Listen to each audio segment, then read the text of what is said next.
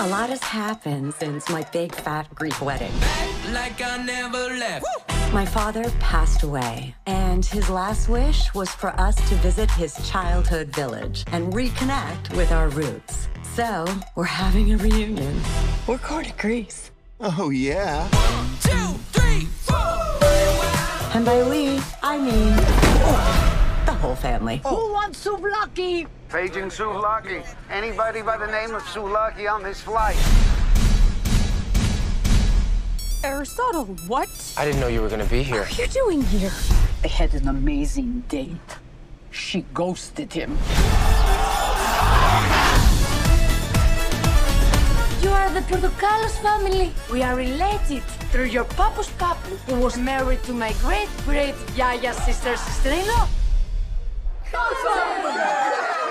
I'm Aunt Bula. I will be your favorite. I promised my dad I would find his best friends. I know them. Do they still live here? No, How do we find them? They will come for the reunion. Did they tell you they're coming? no.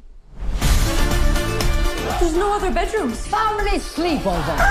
This is one reunion we'll never forget. Do you know these men? No.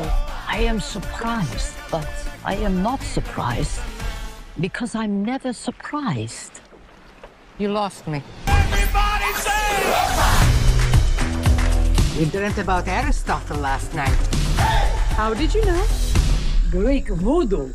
Bam! I remember your story. I really need to find my dad's friends. Angelo and I are on it. Okay, bye.